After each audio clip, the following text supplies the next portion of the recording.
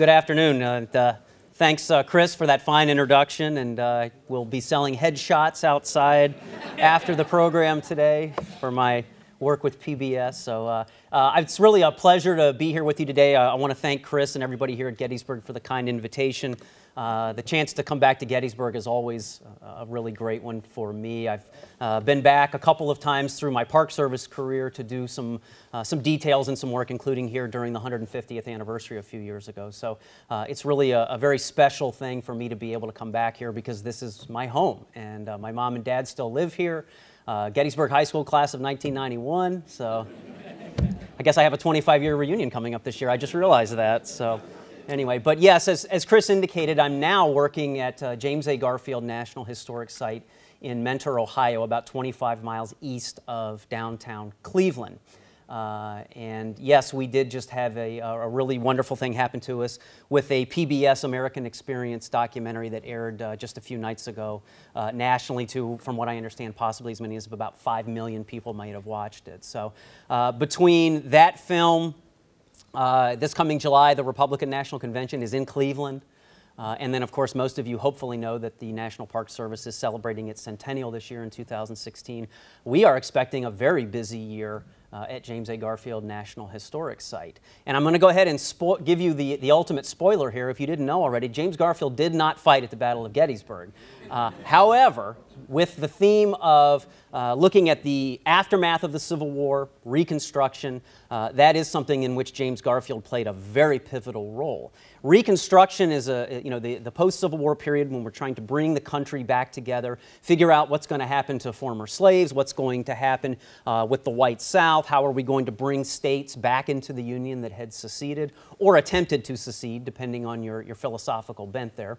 Uh, it's a very complex time in our history. It's a very important time in our history, and it's a part of our history in which James Garfield was very, very uh, intimately involved. Uh, so, what I'm going to try to do today is really just give you, paint a very, with a very broad stroke here. Uh, I do not expect that you will walk out of here in an hour knowing everything about James Garfield. Uh, I don't expect you're going to walk out of here in an hour knowing everything about Reconstruction. Uh, what I hope you will walk out of here in an hour or so knowing is that Garfield is a lot more than what he's been given credit for. Uh, he's a far more interesting guy, a far more important American political figure, in fact, than you may have been led to believe. Uh, so I'm going to tell you a little bit about James Garfield. I'm going to talk about where he was on really just a couple of issues during Reconstruction. There's so many issues we could get into, but because of Garfield's own uh, feelings about certain issues, I'm really going to focus on uh, the aftermath of the Civil War as it relates to slavery and, and the fate of former slaves, because this is something Garfield felt very passionate about. Um, we'll talk a little bit about sort of uh, some things later in Reconstruction, such as the, you know, the impeachment of Andrew Johnson and the election of 1876. Uh, but again, there's, uh, and, and, I'm happy to give uh, plugs for a couple of books afterwards as well if you want to know more about uh, where Garfield stood on some of these issues and what his impact really was on Reconstruction after the presentation today. And of course, at the end, I'll be glad to hang around and answer any questions you might have. Probably the first question you have is just who the heck was James Garfield? Uh, you know, he's not somebody that people know very much about. Uh, if you've ever heard the old joke that if you wanted to be president after the Civil War, the requirements were that you had to be a Republican, you had to have fought in the Civil War, and you had to have a beard. Well, James Garfield met all of these requirements. This is a great quote from Garfield that actually he himself wrote at one point, talking about uh, trying to understand biography. You know, talking about when you're trying to write the biography or understand the biography of a person, what is it about that person that you really need to know? Who, what was he? What were the elements and forces within him? What were the elements and forces of life and society around him? Uh, what career resulted? Basically, this is Garfield's philosophy on how you learn about someone. But what most people know about James Garfield is that on July 2nd, 1881, he got shot. And also that there's an orange cat that also shares his name, but uh, we do not get into that uh, where I work. We don't care to talk about the cat. Uh, this really is what most people know about James Garfield. He was a Republican, he did have a beard, he did serve in the Union Army, he was President of the United States very briefly, and on July 2nd, 1881, he was shot and didn't die until about 80 days later. And if you did happen to catch the uh, documentary on the American Experience the other night, that really did a very nice job of explaining who Garfield really was. But the vast majority of that film, about you know at least half or maybe a little more than half the film, is detailing what happened to Garfield after he was shot and this horrible medical care that he endured and the fact that he really died of infection, not bullet wounds and all this other stuff. And I won't go in, you know, too much into all of that simply because you can go online now and watch the American Experience documentary for yourself and see all of that. Uh, but at any rate, this really is the sum of what a lot of people know about James Garfield, and that includes people who come to Mentor, Ohio and walk onto the grounds of James A. Garfield National Historic Site and want to tour the home. Uh, they know that Garfield was assassinated. And that's really about all they know. And unfortunately, that has, until fairly recently, been mostly been his place in history a very brief presidency uh, and a tragic assassination and a long and very painful and torturous death. Um, fortunately, people are paying more attention to Garfield now and realizing he has much to teach us about Reconstruction, about the Civil War, about abolition and slavery, and so many other issues of the 19th century that are so critical to us understanding things like the Battle of Gettysburg, even. You know, we can't really understand the Battle of Gettysburg without understanding why was this Civil War being fought in the first place? And that is certainly something that James Garfield had opinions on. But before I talk more about Reconstruction, I want to just give you a very quick biographical portrait of James Garfield. Uh, he was born on November 19, 1831. You perceptive Gettysburg folks will recognize that date of November 19th as, of course, the, also the date of the Gettysburg Address. So the Gettysburg Address was given on James Garfield's 32nd birthday. I don't know which one of those is more important uh, to history. I dare say it's probably the Gettysburg Address, but at any rate, uh, yes, Garfield was actually born on November 19, 1831. Uh, in uh, a community called uh, Orange Township. It's now called Moreland Hills, near Cleveland, Ohio, uh, very, very close to, to Cleveland. He was very well educated. Uh, he really had to work very hard to get an education. He grew up very poor. His father died when Garfield was about 18 months old. Uh, and he worked a series of sort of uh, odd jobs before he finally decided that he wanted to go to school and ended up excelling as a student, became an accomplished academic in his own right, became a, a, a teacher, a college professor, and a college president before he was 30 years old. Uh, and uh, the Western Reserve Eclectic Institute that I have up there on the, on the screen is now uh, still in existence. It's now Hiram College in Hiram, Ohio. But Garfield went to school there, uh, left uh, after he had finished there, went to Williams College up in Massachusetts, and he wanted to go to Williams because he wanted to go up to New England and get into the, the atmosphere of New England because there was so much abolition fervor in New England in the mid 1850s. And Garfield had never left the Western Reserve of Ohio. So he wanted to go uh, experience another part of the country and really get a sense of what people are thinking and talking about up in New England because he's starting to hear more and more about uh, slavery and abolition and the fact that you know many people are predicting at this point that the country will go to war at some point about this issue of slavery. So he chooses Williams College very uh, very specifically because it gives him a chance to go live in New England for a few years. But at any rate, Garfield becomes, you know, is fiercely intelligent, uh, today, scholars, a lot of scholars say he was probably one of the most purely intelligent people ever to be elected president. Just a brilliant, brilliant man. Uh, and he had a number of very important and impressive jobs even before he was able to put President of the United States on his resume. He's the only president in, in our history thus far to have been a minister. Uh, he was a, a member of the Disciples of Christ. Uh, which, along with, uh, I believe, the Latter day Saints, is one of only two Protestant denominations created in the United States of America. So he was kind of, he was not ordained in that the, the, disciples of Christ didn't actually ordain people until well into the 20th century. He was more like a, like a lay minister almost. But he did work as a minister, he did preach. So he's the only president to have ever worked uh, as a minister. He was a teacher, he was a college president. He was elected to the Ohio State Senate, which is where he was during when the Civil War began in early 1861.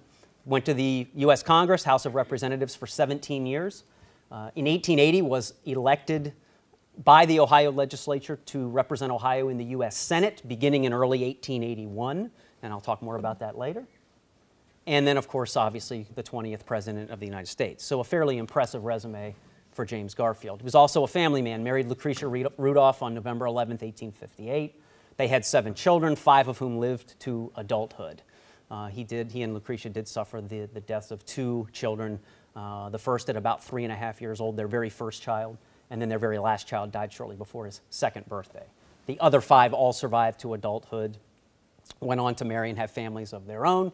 And so by the time Mrs. Garfield died in 1918, she had 16 grandchildren.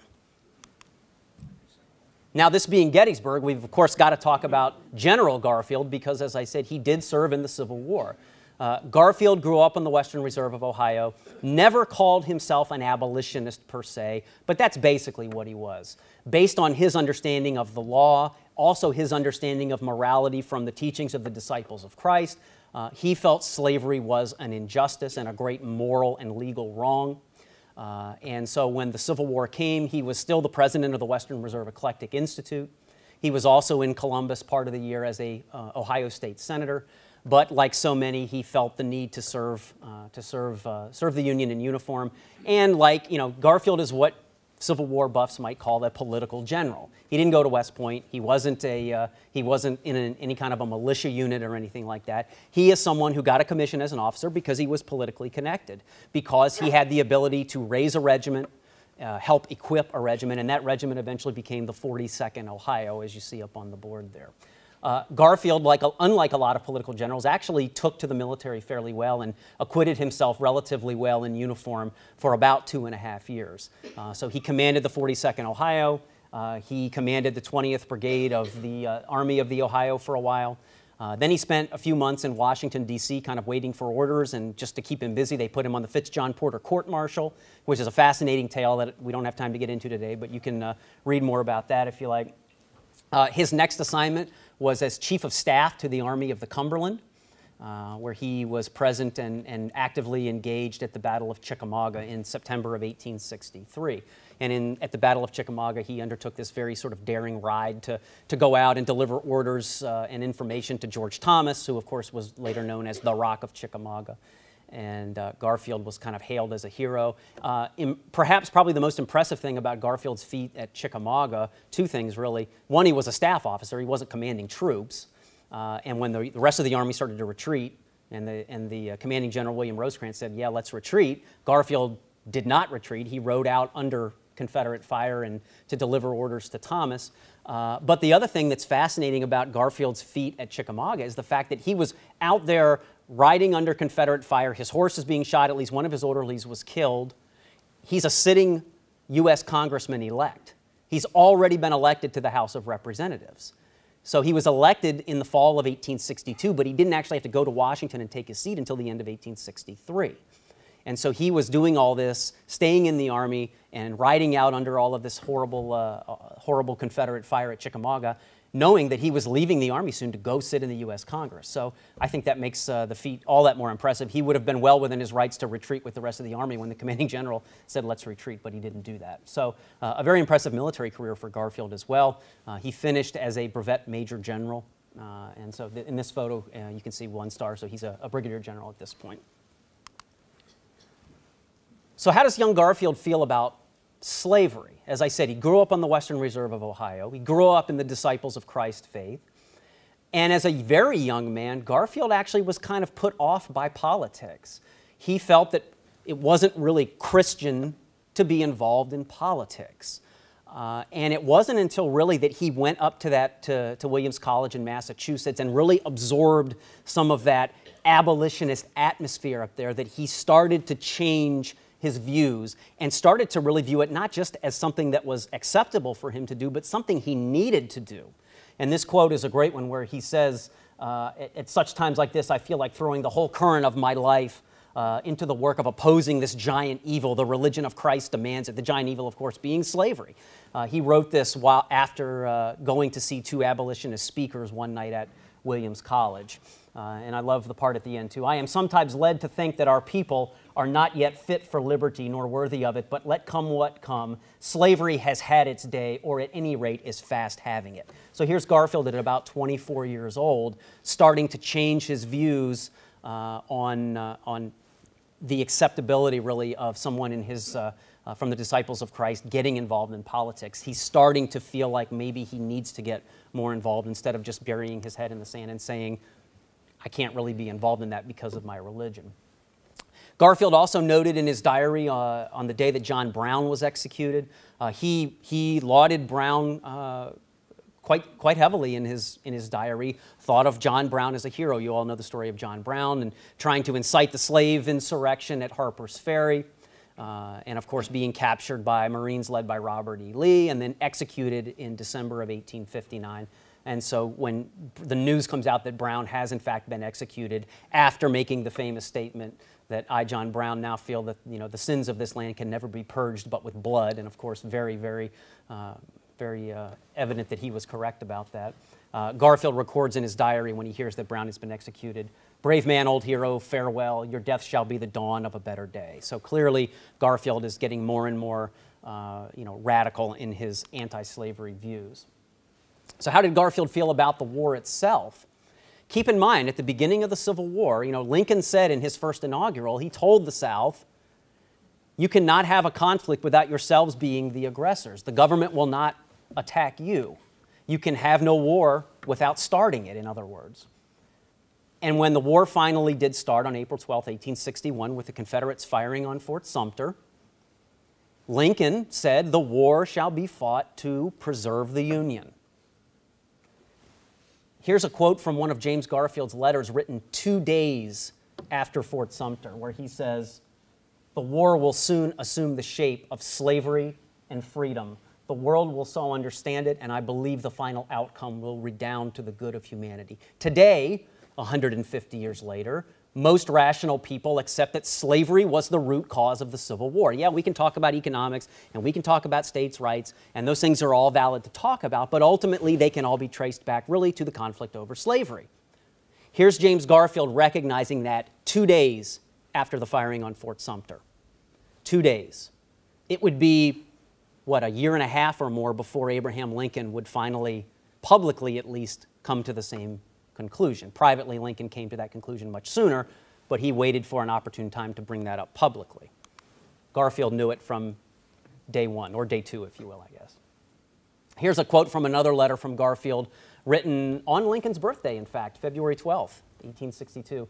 Let the war be conducted for the Union till the whole nation shall be enthused, inspired, transfigured with the glory of that high purpose, that high purpose being abolition. So, in other words, Garfield is saying here fine, if you want to say it's all about preserving Union, okay, as long as we know what it's really all about, until everyone comes around to thinking that abolition is something that needs to happen.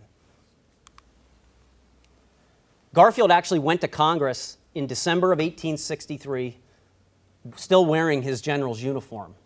He didn't even have any civilian clothes with him that he could wear to Congress. So that's why I specifically selected this picture of him in uniform uh, and yet titled the slide Congressman Garfield because, in fact, he did go to, to, uh, to the House of Representatives four days after the birth, or the, uh, the death, rather, of his first uh, child, Eliza, his daughter, uh, in his general's uniform.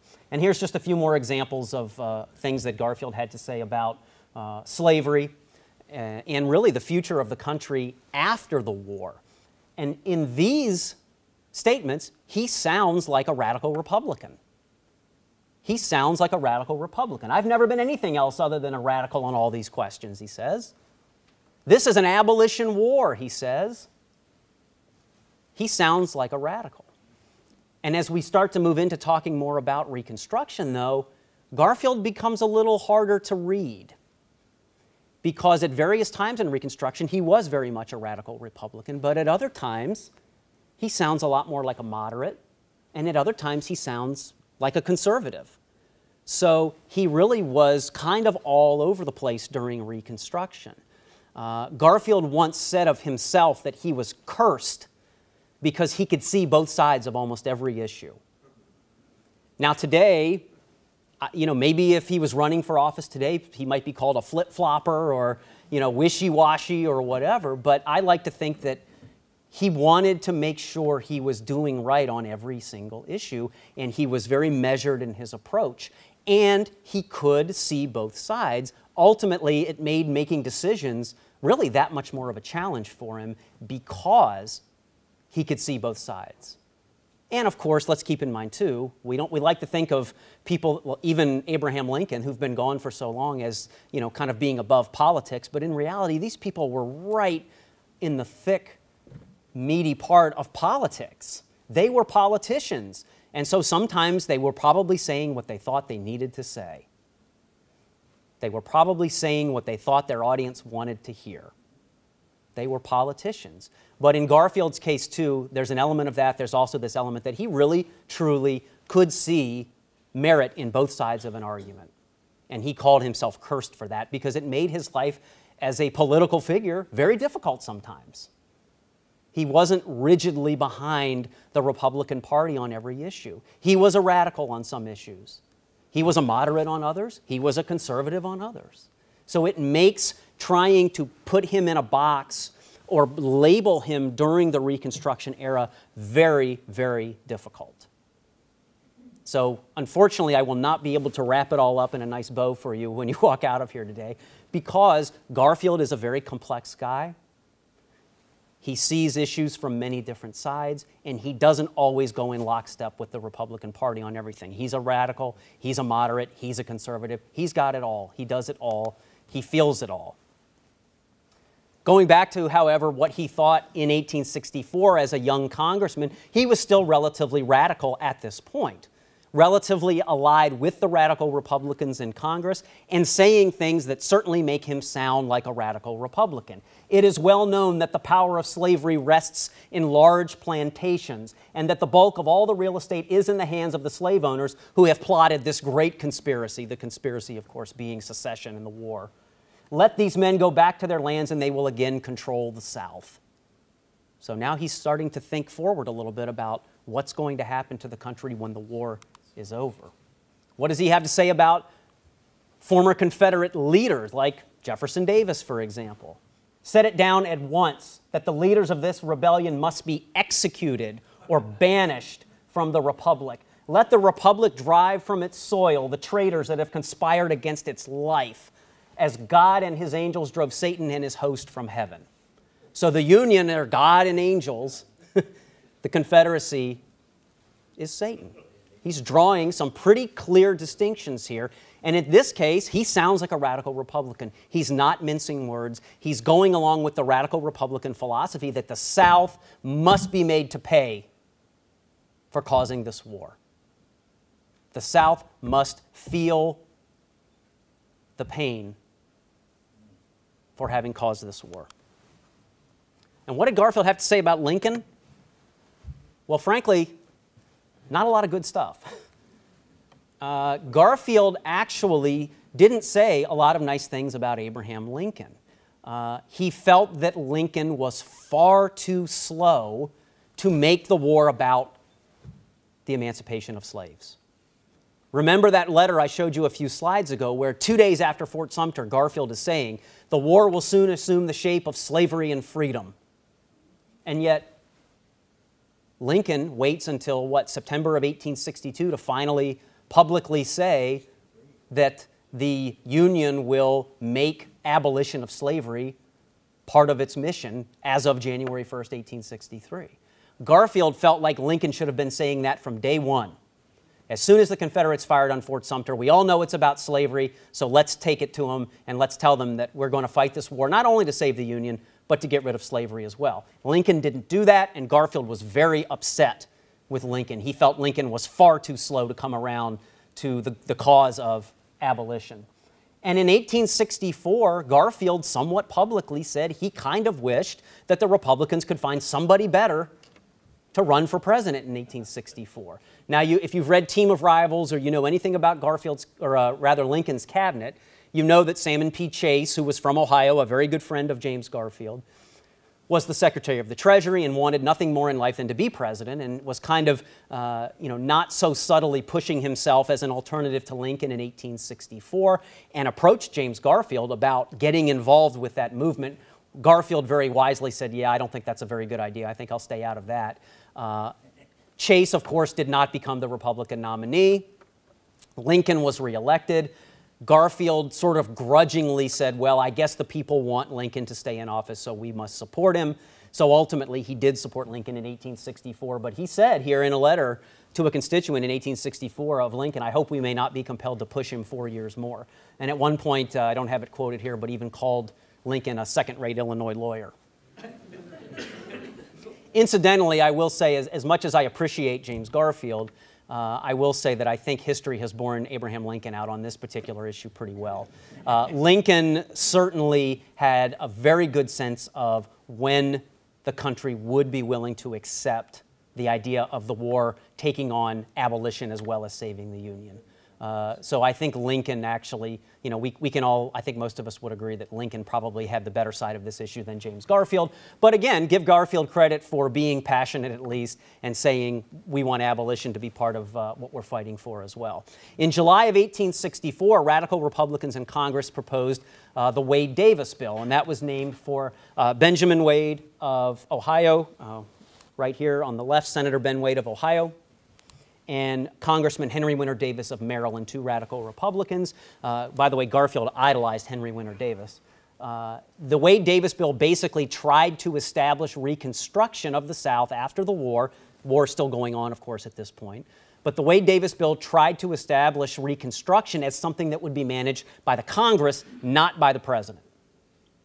So, this was the radical Republicans' first real attempt to take Reconstruction out of Abraham Lincoln's hands and it goes through Congress. James Garfield supports it, even though most of the people back home in his district, in the 19th District of Ohio, didn't support it. Garfield supported the Wade Davis bill. It went to Lincoln, and as you can imagine, Lincoln was not too thrilled, and he actually pocket vetoed uh, the Wade Davis bill. Basically, just kind of ignored it until this, the term the session expired, and then uh, and didn't have to deal with it. But at any rate, again, at this point, early, the war is still going on. Garfield, who's a veteran of the war, is at this point still fairly radical. Here's what he had to say about Lincoln and about the Wade Davis bill in 1864 at his own uh, Republican convention back in Ohio, where he's being nominated to run for the House again. Abraham Lincoln was not my first choice. I hold it to be my privilege under the Constitution and as a man to criticize any acts of the President of the United States. If I go to Congress, I must go as a free man. I cannot go otherwise, and when you are unwilling to grant me my freedom of opinion to the highest degree, I have no longer any desire to represent you. He's talking to his constituents here. It's pretty bold, really. He's justifying why he's, a, he's, he's uh, at odds with Lincoln. And he's also saying, I hold it as my right to go to Congress and vote the way I think is best for this district and best for the country. And if you don't want me to do that, don't send me back. And of course, he's renominated and reelected in 1864. Still fairly radical at this point. How about the 13th Amendment? Anyone here see the movie Lincoln a few years ago? You'll recall that the film was primarily about the fight to pass the 13th Amendment. And I think people went into the theater expecting to see sort of a biography of Lincoln, and in reality, they got a, you know, sort of a, a small but very important chunk of his, of his life and, and his presidency. But at any rate, the 13th Amendment, uh, which proposed to ban slavery, was very controversial. And you saw that reflected in the film. One thing that they didn't put in the film that I wish they would have was this very powerful speech that James Garfield gave on the floor of the House on January 13, 1865, supporting the 13th Amendment. Why they wouldn't put that in the movie, I don't know. But maybe uh, if Steve, now that I'm a big movie star, if Steven Spielberg calls me, I'm going to suggest that his next film be a biography of Garfield, and perhaps he could focus uh, some, a scene on this speech or something like that. But at any rate, you know, Garfield says, I didn't intend to get up here and talk about slavery again, but responding to some of the things that people voting uh, and speaking against the 13th Amendment had said the day before, he felt compelled to get up and give this very powerful and very moving speech supporting the 13th Amendment. And of course, if you saw the film, you know, or if you've read a, a good history book, you know, the amendment, of course, did pass just a couple of weeks later. So Garfield very much in support of uh, really all of those uh, post Civil War Reconstruction amendments, 13th, 14th, and 15th. How did Garfield feel about black suffrage? Well, now we're going to start getting into the weeds a little bit here because it starts to get, this is where we start to see Garfield maybe sometimes saying one thing but doing another. Um, he was always publicly very supportive of civil rights for African Americans after the war, very much in favor of doing everything within the government's power to give former slaves every bit of opportunity they could to try to right this great wrong that had been done to them over centuries. Uh, but privately, like a lot of political figures, including Abraham Lincoln, quite frankly, he didn't always have the nicest thing to say about African Americans. Uh, you know, he wasn't sure how he felt about black people getting the right to vote.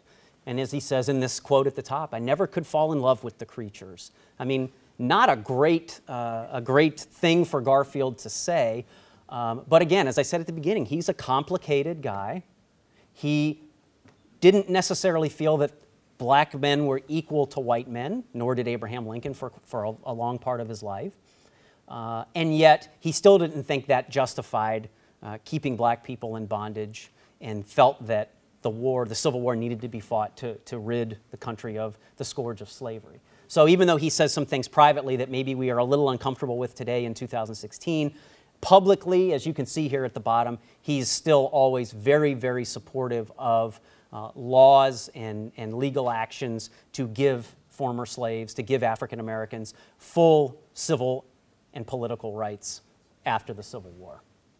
Let us not commit ourselves to the absurd, absurd and senseless dogma that the color of the skin shall be the basis of suffrage, the talisman of liberty. This is Garfield speaking publicly on the 4th of July in 1865. So, how did Garfield feel about former Confederates? We already talked a few slides ago about uh, you know, him saying early on in 1864 that they should be banished or executed. Here's a couple of quotes uh, where he talks about what should happen to former Confederates. Uh, so long as I have a voice in public affairs, it shall not be silent till every leading traitor is completely out of all the participation in the management of the republic. So there's this big debate going on about letting former Confederates come back to Washington as congressmen, uh, restoring citizenship, this kind of thing. So Garfield is obviously, at this point at least, opposing that. Uh, on seating former Confederates in the Congress, uh, we should wait until the grass is green on the graves of our murdered patriots. And then, yet, here in a private letter on September 13th, 1865, really just around the same time he's writing these other things, he says, There's not in my heart the least feeling of personal vengeance toward them. Traitors though they are, I'm proud of their splendid courage when I remember that they are Americans. So again, he's sort of of two minds here, isn't he? It's making it very hard for us to really pin down where exactly he feels. So, you know, he's saying these things publicly and privately about their traitors and they need to be executed or banished, and yet, but I really don't personally feel any hard feelings toward them. So it makes Garfield not always easy to, to understand where he stood on things. What about Andrew Johnson? Of course, Johnson becomes president after Lincoln's assassinated. Uh, we all remember Johnson as a Southern Democrat put on the ticket with Lincoln in 1864, really as a show of unity. Uh, really, it didn't matter that, that Johnson was a vicious racist. Uh, it only mattered that he was a Southerner, he'd stayed loyal to the Union, and he was a Democrat. So, what a great show of loyalty. And it really doesn't matter because we're never, you know, we'll stick him in the vice presidency and never have to worry about him again. And then, of course, Lincoln is assassinated, and suddenly Andrew Johnson is president. Johnson tried to continue Lincoln's lenient Reconstruction policy on the South. Johnson, of course, did not have the political skill or the standing with Congress that Abraham Lincoln had. Uh, and Johnson is very quickly overrun by the radicals in Congress who sense an opportunity here. It's like a shark smelling blood in the water. They know that they can pounce on Andrew Johnson, and that's what they do. Garfield knows Johnson, they're friendly. Johnson was actually hoping to kind of use Garfield as kind of a mediator between the president and the radical Republicans. Uh, and that, uh, that did not really work out well for either one of them. Um, Garfield and the other radicals held African American uh, uh, suffrage as really the most important thing to come out of these Reconstruction amendments and the thing that was really kind of a litmus test for Southern states to start being considered to come back into the Union. Johnson did not want black people to have the right to vote. As I said, he was a vicious racist. Uh, he wanted Southern states to be able to come easily back into the Union, as had Lincoln, but he did not want to see black people get the right to the ballot. And so this put the radicals and, and Johnson kind of on a, a very dangerous course uh, that was going to lead eventually, of course, to uh, Andrew Johnson being impeached. Now, this is a quote from Garfield in 1866 when again he's still relatively friendly with Johnson. It's you know a year and a half before the impeachment thing comes up, uh, and he's but he's running for reelection. So here's an example maybe of Garfield kind of telling the people what he thinks they want to hear. Every rebel guerrilla and jayhawker, every man who ran to Canada to avoid the draft. Probably hear that one 100 years later, too. Every bounty jumper, every deserter, every cowardly sneak that ran away from danger and disgraced his flag, every man who loves slavery and hates liberty, every man who helped massacre loyal Negroes at Fort Pillow or loyal whites at New Orleans, every knight of the Golden Circle, every incendiary who helped burn northern steamboats and northern hotels, and every villain of whatever name or crime who loves power more than justice and slavery more than freedom is a Democrat, an endorser of Andrew Johnson. Doesn't sound much of like a moderate here, does it? if you think partisan politics is an, uh, a relatively recent uh, invention, I can assure you it's not. It was very down and dirty. Uh, frankly, it's fairly tame today compared to what it was, uh, you know, 100 or, two, or even 200 years ago. So again, this is Garfield trying to appeal to his constituents to reelect him again in 1866 to the House of Representatives, which they do. Again, at this point, he's still on relatively good terms with Johnson but he's trying to sort of straddle, you know, his friendship with Johnson with uh, the growing uh, fervor among radical Republicans to try to get rid of Johnson. And of course, they eventually try to do that when Johnson violates the Tenure of Office Act. The Tenure of Office Act was a law that was basically passed that said that a president could not remove cabinet officers without the approval of the Senate. So it basically gave the Senate control over who presidents had working for them.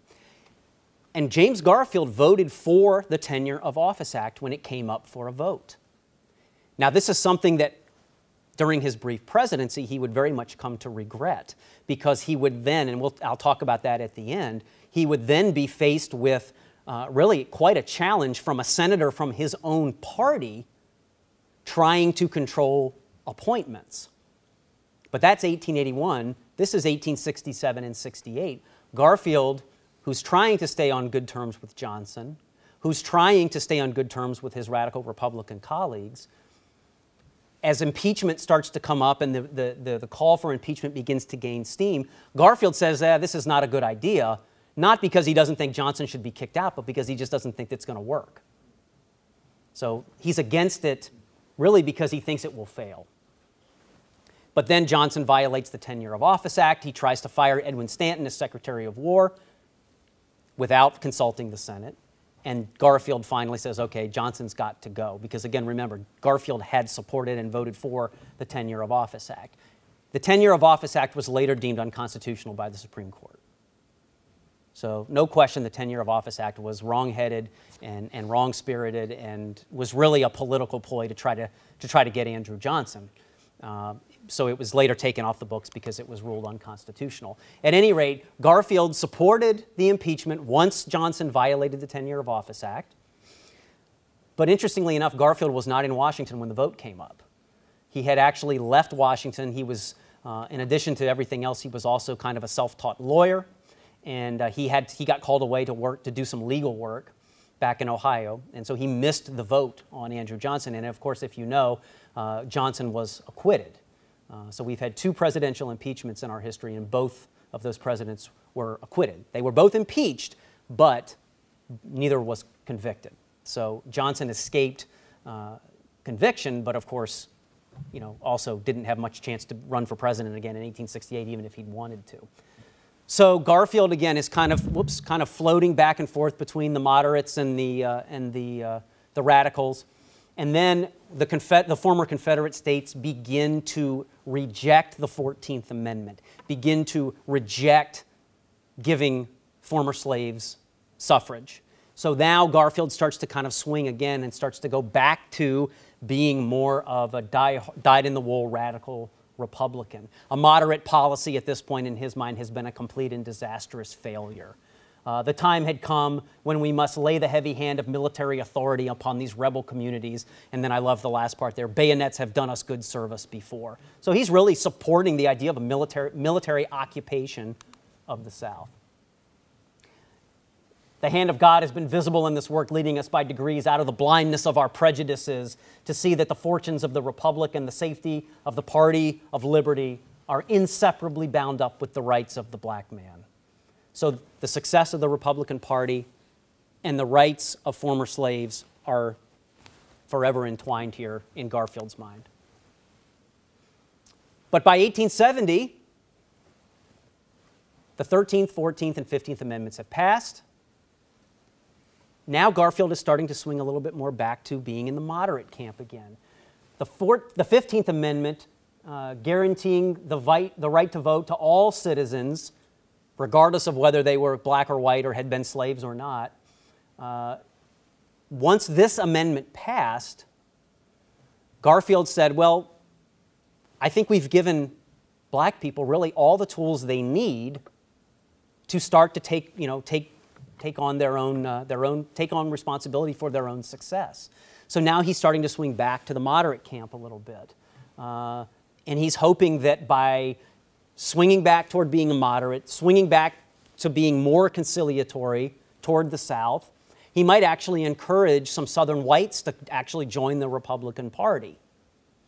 So again, he's trying to look out now for not only the future of, of African Americans, and he feels like the government has really kind of fulfilled its responsibility to them at this point, but he's also now looking to the future of the Republican Party as well, and realizing that if the Republican Party is just regionalized in the North, it, it really is, is going to have a hard time. It's got to be able, it's got to start widening its appeal. It needs some white Southerners to come on board as well. And so by backing off the radical Republican policy, once the 13th, 14th, and 15th Amendments have passed, he's giving the Republican Party a chance to appeal to some Southern whites. Uh, Garfield was not pleased with the Grant administration's two terms. Uh, he didn't feel that Grant handled uh, Reconstruction very well. And the biggest example of Grant's the Grant administration's fa uh, failures in Reconstruction was Louisiana. Uh, Louisiana was kind of uh, the real shining example of just how awful Reconstruction really was going uh, in certain parts of the South. Uh, and uh, the, the, the, Democratic government in Louisiana, you know, openly oppressing African Americans, openly turning their, their backs on lynching, things like that this was uh, Louisiana was really uh, the the example that Garfield used to, to talk about just how badly the Grant administration had really botched uh, Reconstruction in the South. By 1876, of course, Grant has served two terms as president. Uh, there was no constitutional amendment at the time that said Grant had to leave office after two terms, but that's what everyone had done, living up to the example of George Washington. And so the Republican Party needed a presidential candidate in 1876, and there were, kind of like today, many, many, many people who wanted the job.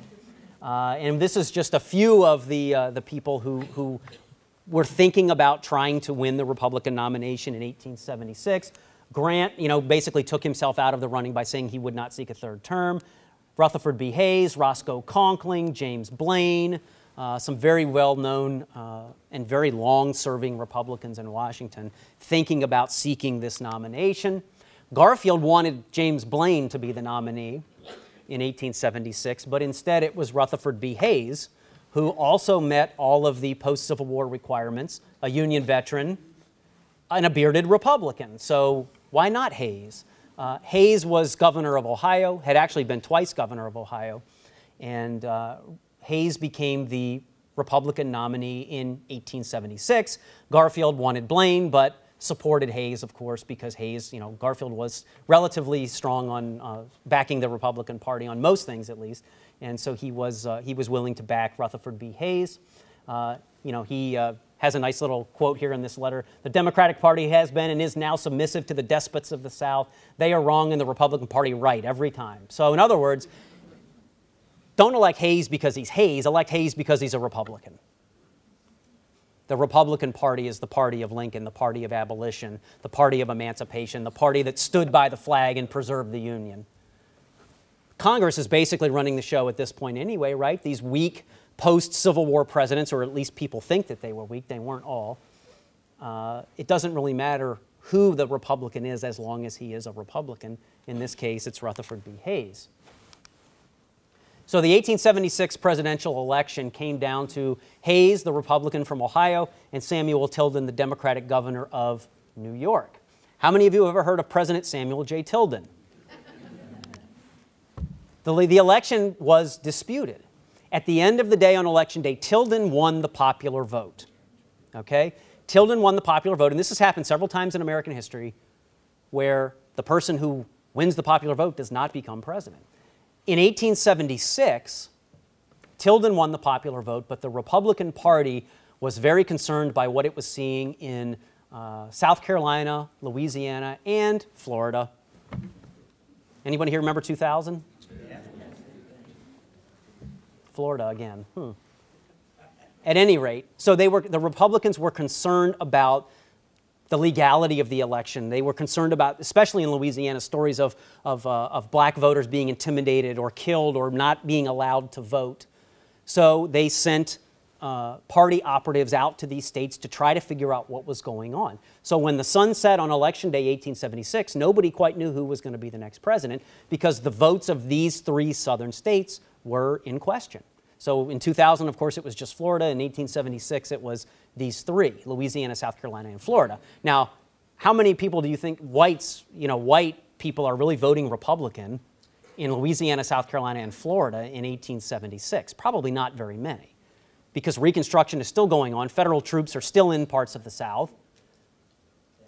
The, the memory of Lincoln is still very much alive. The memory of the war is still very much alive. There aren't very many white Southern Republicans in 1876. But the Republican Party is concerned about some of these reports of voter intimidation and other things. And so they start sending operatives out to these states to figure out what's going on. And Garfield himself gets sent by Grant to Louisiana. Garfield goes to Louisiana to try to figure out what the heck was going on in Louisiana. Was there voter intimidation? Who really won Louisiana? Who really won the electoral votes of Louisiana? Because if Hayes wins Louisiana, South Carolina, and Florida, he wins the Electoral College by one vote. Who is going to be the 19th President of the United States? And of course, Democrats are threatening revolt. Tilden or blood, they say. Tilden won the popular vote. Nothing, you know, there, nothing illegal was going on in these southern states. Samuel J. Tilden will be the 19th president. So it's an open question. Nobody knows who is going to be. Just like 2000, when we didn't know for a month and a half or whatever, it was the same situation in 1876. It was a disputed election. Nobody knew who was going to win. James Garfield, in talking to Rutherford B. Hayes, tells Hayes it would be a great help if, in some discreet way, you could let the South know that you would treat them fairly if you became president. And I've quoted Allan Peskin here. Peskin is the author of uh, Garfield, which, even though it was published in 1978, is still the authoritative academic biography of James Garfield. And uh, so Peskin has, uh, has his view as well there that, uh, uh, you know, if, if Hayes can become, uh, if Hayes can become president, maybe that helps create, the, you know, tries to help create the Republican Party starting to build this white power base in the South, the same thing that Garfield was talking about previously. So, whereas in 2000 the, the decision was finally kicked over to the Supreme Court, in 1876 they didn't send it to the Supreme Court. They created an electoral commission to try to figure out who exactly was going to win these electoral votes. And James Garfield, for his part, very publicly said this is a terrible idea, this commission. It's a terrible way to solve a constitutional crisis. And in the spirit of no good deed goes unpunished, for saying that, they put him on the commission. So, uh, the commission was made up of 15 members, five senators, five members of the House, and five Supreme Court justices. Seven of them were Republicans, seven of them were Democrats, and one called himself an independent. Uh, and again, Garfield was opposed to this idea, but uh, ended up on the commission. And uh, the commission basically voted, voted right along party lines. Seven Republicans voted for Hayes, seven Democrats voted for Tilden, so it all came down to that one independent who did end up voting for Hayes. So, Rutherford B. Hayes is the 19th president of the United States, not Samuel J. Tilden. And there's a lot of speculation that the way that Hayes and his, uh, his operatives basically got those three states to turn their electoral votes over to him was he agreed to begin to pull federal troops out of specifically Louisiana, but really the South as a whole. Um, there's some confusion on whether or not Hayes himself really had anything to do with that deal. Hayes was a relatively, seems to have been a relatively honest guy, uh, but certainly Republican operatives in the South may have very well made that deal that allowed Hayes to become president, allowed the Republicans to keep their hold on the White House, and denied the White House to the Democrats, uh, who had not had, a, uh, not had a president elected since James Buchanan in 1856 the only president from our home state of Pennsylvania, widely considered the worst president in American history. That's why he's the only one from Pennsylvania, perhaps. Who knows? So by 1880, of course, Hayes says very early on he's only going to serve one term. So once again in 1880, the Republican Party doesn't know who its presidential candidate is going to be. And at the 1880 Republican Convention in Chicago, James Garfield goes there to give a speech nominating a guy named John Sherman, brother of William Tecumseh Sherman, uh, to run, to, to nominate Sherman to be the Republican presidential candidate in 1880. The convention is deadlocked. There are many candidates who want to be the, the nominee, including Ulysses S. Grant, who now has decided to come back and save the Union one more time. And the Republican Party starts going through ballot after ballot after ballot after ballot after ballot after ballot after ballot, 36 ballots before they could finally pick a nominee. And you know, hey, we're in, we're in presidential politics season right now, the Iowa caucuses and the New Hampshire next week. So let's face it, by the time these conventions come up in the summer, we're going to know who the candidates are long before the conventions. But in 1880, nobody had a clue who was going to emerge as the Republican presidential nominee. So when it became clear that none of the announced candidates, Grant, Blaine, people like that, could actually, Sherman, could get the nomination, they started looking for what they called a compromise candidate, and eventually on that 36 ballot settled on none other than James Garfield himself. Garfield, who had gone there and given a speech nominating Sherman, the speech was so good, people said, well, we don't want to vote for Sherman, but we'd vote for that guy. so Garfield becomes the nominee, and as his name is being, his votes are being cast in his name, he's standing on a table saying, wait, wait, wait, I have not put my name forward. You can't nominate me without my permission. And, you know, the, they, they bang him down from the, from the judges, from the, the stand and, and tell him he's out of order. so Garfield becomes the Republican presidential nominee in 1880. Does anyone know who he ran against in 1880? Winfield Scott Hancock. Probably no one here has ever heard of Winfield Scott Hancock in Gettysburg. Yeah, Hancock. So, you know, that old joke that I told at the beginning about, you know, after the Civil War to be president, you only had to be a Republican, have a beard, and have a Union Civil War vet, uh, record. That worked. That was a very strong platform. The, the, the war record, at least, was a very strong platform in every election after the Civil War, except for 1880, because James Garfield's military career, while impressive, couldn't hold a candle to Winfield Scott Hancock. He could not sit back and say, vote for me because I fought for the Union. Because certainly Winfield Scott Hancock uh, had gone to West Point and served 20 some years in the Army already. Could not, you know, he, he, he certainly had a, a good military record to run on as well. But at any rate, Garfield wins the election. And in his inaugural address, keep in mind, you know, Reconstruction is really kind of ending at this point. Federal troops are being pulled out of the South because of that deal, you know, that, that with the Hayes people four years before. And really, Republicans are now trying to move away from continuing to talk about Reconstruction. They want to be done with it. They want to move on to bigger and better things. And yet, interestingly, in, 18, in 1881, when he gives his inaugural address, Garfield one of, is one of the few people still talking about the need to make sure that we're doing everything we can for former slaves. The elevation of the Negro race from slavery to the full rights of citizenship is the most important political change we have known since the adoption of the Constitution of 1877. He doesn't have to say that in 1881. He doesn't have to talk about civil rights for African Americans in 1881. The party is trying to move past that. And yet Garfield comes back to that. So it clearly is something that even though he maybe sometimes said things privately that weren't as kind as we would like them to be here in 2016, it does seem to have been something of a, of a personal conviction for him. Uh, Garfield, uh, of course, as we know, doesn't stay president for very long. The big issue that he has to deal with during his brief presidency is civil service reform, which is represented in this cartoon by the baby. Here's Hayes leaving this on Garfield's doorstep. Hayes had actually wanted to reform the civil service to make, get rid of the patronage system uh, and make uh, make the civil service uh, a system based on merit. You had to be qualified to get a job, not just know somebody who knew somebody who knew somebody. Uh, and so here's Hayes, you know, who had tried to get it through Congress during his presidency, leaving it on Garfield's doorstep for Garfield to, to deal with. And Garfield has to deal with it from a number of different angles. This is Senator Roscoe Conkling of New York, who was the king, the absolute king of the patronage system. Garf, or Conkling is an old radical Republican uh, and Conkling does not want anyone touching the patronage system because that's how he builds his power base in New York. So he doesn't want to get rid of the patronage system that allows him to give people jobs because that's how he builds loyalty and power in New York. And this other guy happens to be the vice president of the United States, Chester A. Arthur, also from New York, owes his entire career to Roscoe Conkling. Arthur is put on the ticket in 1880 with Garfield as a concession, really, to the, to the, the so-called stalwart Republicans that are led by Roscoe Conkling. So Garfield is, has his own vice president working against his own administration, trying to oppose reforming the civil service.